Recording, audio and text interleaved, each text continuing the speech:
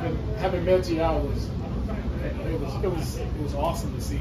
Right, you see a guy who's been through so much, and just a credit to him and the work that he's put in while everyone else is away or people maybe forgot about him. It's just a credit to his work ethic and how relentless, relentless he's been in this process. You know, while no cameras are on him, he's been putting in the work, and it's encouraging to see. And I'm I'm happy to have him out, and just honored to be his coach.